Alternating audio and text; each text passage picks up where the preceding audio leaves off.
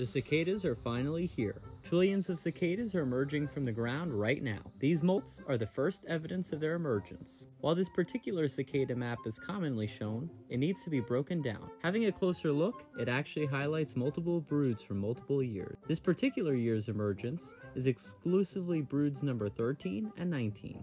This chart is a much better representation of this historic emergence. The last time these broods emerged at the same time was 1803. Thomas Jefferson was president then.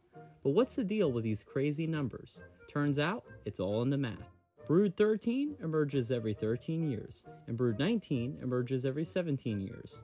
Both of these numbers are prime, this results in having a least common multiple of 221. Some scientists believe that by cicadas exclusively using prime numbers, predators won't overlap during a population boom. Speaking of predators, while cicadas are loud, they are not a problem for trees. Unlike a grasshopper's chewing mouthparts, cicadas have piercing mouthparts for feeding on just tree fluid.